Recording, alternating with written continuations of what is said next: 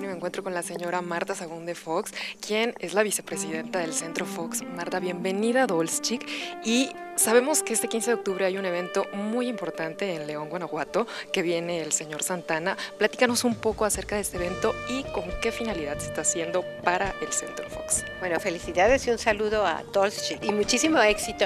Bueno, Carlos Santana es un gran artista mexicano. Para nosotros esto tiene un valor muy importante, que tengamos un artista mexicano de la talla de Carlos Santana y que podamos tenerlo en el estadio de fútbol, en el Nou Camp de la Ciudad de León. Como ya se mencionó aquí, la Ciudad de León de verdad es maravillosa. Es, yo misma me he quedado sorprendida de, de cómo ha ido creciendo la Ciudad de León, la seguridad que tiene la Ciudad de León, que es sumamente importante, y bueno, que en esta ocasión podamos sumar los esfuerzos tanto de la ciudad como del Centro Fox y poder llevar a cabo este gran concierto, pero además es un concierto a favor de la educación. Y el compromiso de Santana a favor de la educación, a favor de los niños es, como ustedes lo escucharon, verdaderamente maravilloso. Así es de que tiene un significado muy importante porque es artista mexicano, porque le llaman la leyenda viviente y la verdad es que sí es toda una leyenda eh, Carlos Santana porque está jalando multitudes en esta última gira que está haciendo desde Canadá a los Estados Unidos y luego para León y además porque va a ser un concierto único, no va a dar ningún otro concierto en la República Mexicana, así es de que se suman muchos factores de un artista, un músico sensacional, un músico comprometido con las causas nobles, de manera particular con la educación y un músico donde además nos da el enorme privilegio de no dar ningún otro concierto mal que el que se va a llevar a favor de la educación en León, Guanajuato, el 15 de octubre en el estadio de fútbol. Marta, ¿cuál es el objetivo principal de Centro Fox? Esa importancia que tiene hacia los niños que está enfocado principalmente. ¿Cuál es el objetivo de, de así el, el, el, objetivo, la meta final de Centro Fox? Mira, si yo lo tengo que reducir y en realidad eh, eh, así es, el Centro Fox es un centro de liderazgo y de promoción de ideas o centro de pensamiento y de promoción de liderazgo. De pensamiento porque, bueno, como ya lo mencionaba ahí, Centro Fox se empeña en poder tener una visión de futuro basada en investigación y Centro Fox se va a sentir muy orgulloso el próximo 18 de octubre en la ciudad de Washington presentar este primer estudio de investigación acerca de la tercera edad. Y por el otro lado, el liderazgo. De manera particular, si bien todo el mundo está escaso de líderes, creemos que Latinoamérica y México no se escapa, hay una enorme escasez de líderes, pero no porque no existan. Todos somos líderes, Vicente lo dice y lo dice muy bien. Todos somos líderes y lo somos todo el tiempo. Lo único que hace falta es que nos lo creamos. Entonces, imagínate tú estos chiquitos que vienen de escuelas públicas, de, hogares que no tienen a veces todas las comodidades y que sí tienen pues un faltante importante de oportunidades, donde generalmente la educación es en base a la represión.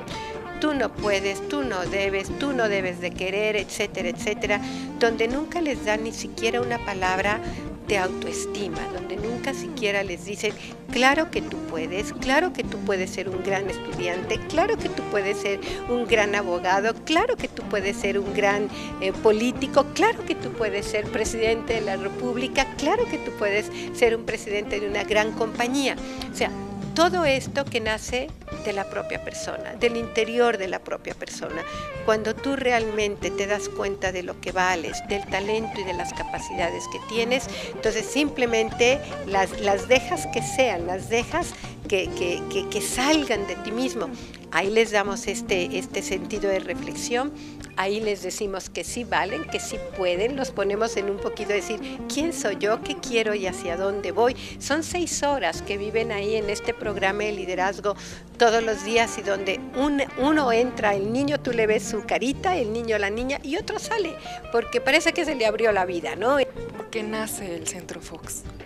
Bueno, Centro Fox, te voy a, comentar. Cuando Vicente eh, iba, estaba a punto de terminar su administración y ya regresábamos a casa de manera muy afortunada en esta pequeña comunidad de San Cristóbal, donde tienen todos ustedes su casa y de verdad lo digo en serio, empezamos a ver, bueno, ¿qué más sigue? Porque pareciera que en México la tradición es que después de la presidencia pues ya no hay vida para el expresidente. Y Vicente desde luego dice, claro que hay vida después de la presidencia. Y yo, que vengo ya durante muchos años compartiendo sus proyectos, entonces empezamos a pensar qué seguía en el ámbito sobre todo del servicio. Número uno, desde luego la Fundación Vamos México, que siempre lo dijimos, no fue un capricho mío de, durante los años de la presidencia, sino era un proyecto de vida y ese sigue trabajando, ahí seguimos trabajando fuertemente en Guanajuato. Y luego conocimos las bibliotecas presidenciales en los Estados Unidos, que todos los expresidentes cuando terminan, pues es ahí donde van y colocan todos sus documentos de la presidencia que recién termina. Entonces, ese fue el modelo inicial, pero realmente el éxito del Centro Fox ha sido sumar a la academia, sumamos a las grandes universidades de México y después poco a poco a las internacionales, la iberoamericana, el TEC de Monterrey jugó un rol muy importante para poder conformar lo que ahora somos. Entonces, más allá de solamente una biblioteca presidencial al estilo Estados Unidos, somos este centro de pensamiento, de promoción de liderazgo, con áreas como son la académica, donde damos, tenemos una oferta educativa permanente, eh, con un área de cultura, de la cual dependen todos estos eventos, como el de, el de, el de Carlos Santana. Tenemos también un área de investigación, como esta que ya vamos a dar a conocer este estudio. Tenemos también una biblioteca pública, donde un promedio de 150 180 niños van ahí sin costo alguno a hacer sus tareas porque estamos equipados con, con computadoras.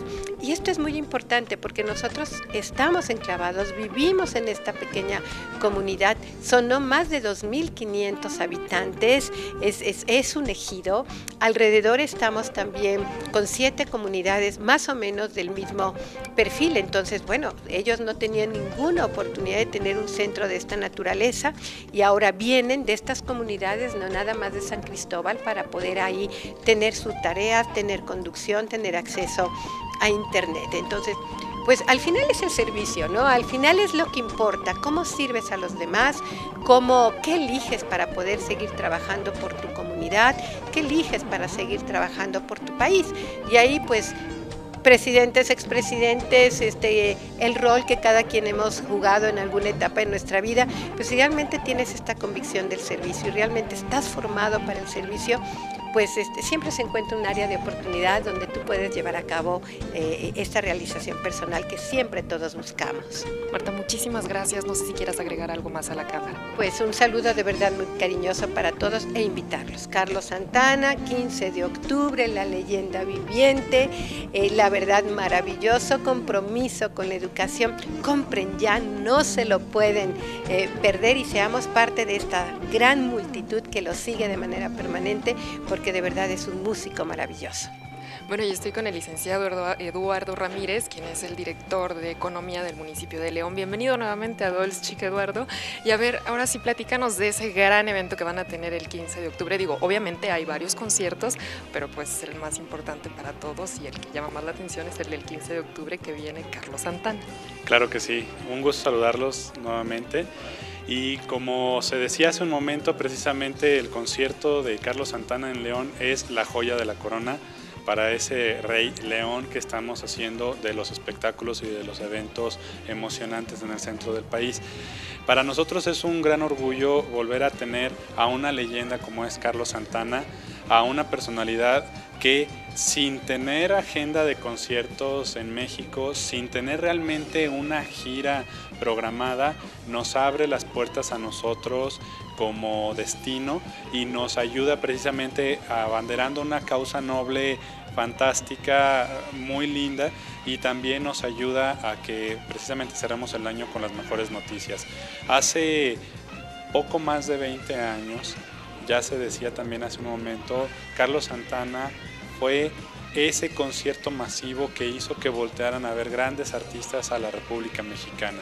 Después de mucho tiempo regresa y estamos muy ansiosos precisamente por esta experiencia y por todo lo que representa al recibirlo a él como esta gran figura y como ese gran nombre que tiene ya en el mundo de los espectáculos a nivel Latinoamérica.